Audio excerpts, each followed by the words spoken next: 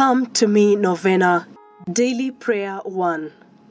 Lord Jesus Christ, by your patience in suffering, you hallowed earthly pain and gave us the example of obedience to your Father's will. Be near me in my time of weakness and pain. Sustain me by your grace, that my strength and courage may not fail. Heal me according to your will, and help me always to believe that what happens to me here is of little account if you hold me in eternal life, my Lord and my God. Amen. Daily Prayer 2 Lord, look upon me with eyes of mercy. May your healing hand rest upon me.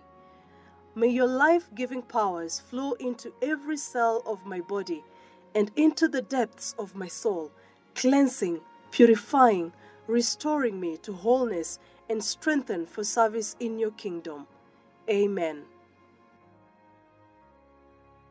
Daily Prayer 3 Lord, please heal my broken heart. Fill me with the peace and joy I know can only come from you during this hard time. Walk closely beside me during my journey to healing and recovery that I know is possible through your power alone. In Jesus' name. Come to me, Novena, Day 2. Christ speaks. Welcome, my child. I knew you would come. I have so much to offer you. I have so many gifts in store for you and for those you love. I have the power, the love that makes every dream come true dreams that bring love and peace and healing to a broken world. Why, my child, should millions go unhealed and die in needless pain? When these hands that touched a leper's skin and made it clean lie here, silent or unused, how I long that my people would come to me and just sit before me.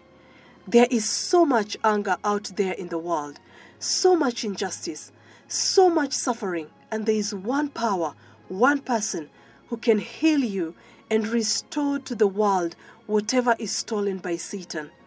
That power is right here. Day 2 Reflection God's power is always available. By coming and remaining before the Eucharist, I am tapping this power. This power, the power of God, is available to us in every event of our life. God said to Joshua, I will always be with you. I will never abandon you. Scripture reference Joshua chapter 1 verse 5. The psalmist sang, God will protect me from all dangers and keep me safe. He will protect me as I come in and go out. Scripture reference Psalms chapter 121, verse 7 to 8.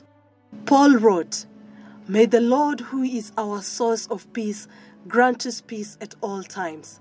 Scripture reference 2 Thessalonians chapter 3 verse 16. Paul encouraged the Corinthians in 2 Corinthians chapter 9 verse 8 to 9.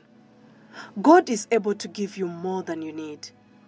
Repeat these scripture verses and let them sink into you. Claim each promise for your specific need. Day 2 Prayer Lord Jesus, your coming has changed the course of history. I know that you are the light that will never fade. No darkness, no tragedy can put off the darkness. Jesus, your love will prevail. That love which will overcome hatred, bitterness, and strife. High walls cannot stop you, Lord. Weapons of war cannot stop the spread of your peace. Right here, there is power. Power that can bring healing and peace into our lives. Power that can set us free from all negativity.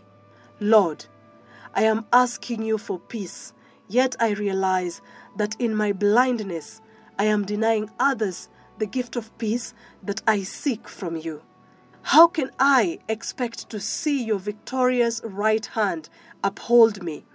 Scripture reference Isaiah chapter 41, verse 10. When I have closed my heart and my hands to my brother, Lord, I have been deaf to your call to repentance.